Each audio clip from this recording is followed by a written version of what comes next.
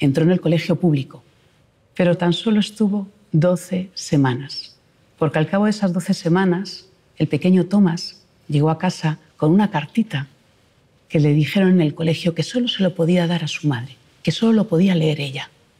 Así que Tomás se lo entregó a su madre. Y Tomás, cuando se lo dio, no sabía lo que había, lógicamente. La señora Edison abrió la carta y la leyó. Y comenzó a llorar. El pequeño Tomás se quedó preocupado. ¿Qué pasa, mamá? ¿Qué pasa?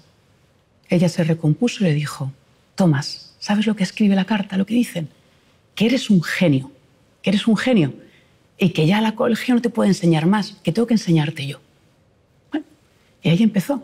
empezó a ser ella, la madre, la propia profesora. Así, poco a poco, hasta que Tomás a los 11 años devoraba la literatura, leía libros y leía libros. A los 12 ya empezó a emprender sus primeros caminos en pequeños proyectos, así poco a poco, hasta que ya empezó con la vida de ser un inventor. Bueno, a la edad de 24 años la madre de Edison murió y Thomas, junto con sus hermanos, recogió las cosas y encontró aquel pedacito de carta que le había llevado cuando él era pequeño del colegio. Cuando abrió la carta para recordar lo que su madre le había dicho, en ese momento Thomas fue quien lloró. Porque la carta no decía lo que su madre le había dicho.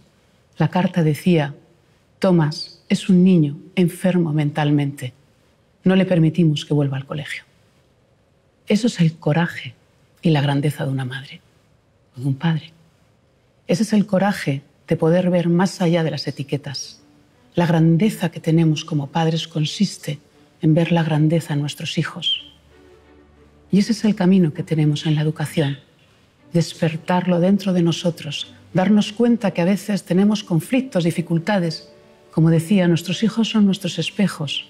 Esas dificultades están en nosotros, pero en la medida en que cada uno de nosotros, siendo padres, siendo educadores, podamos conectar con la grandeza, podamos conectar con nuestra vulnerabilidad, aprendamos a perdonarnos, aprendamos a vivir la vida de una manera mucho más delicada, en ese momento estaremos despertando la grandeza en nosotros y la grandeza en ellos.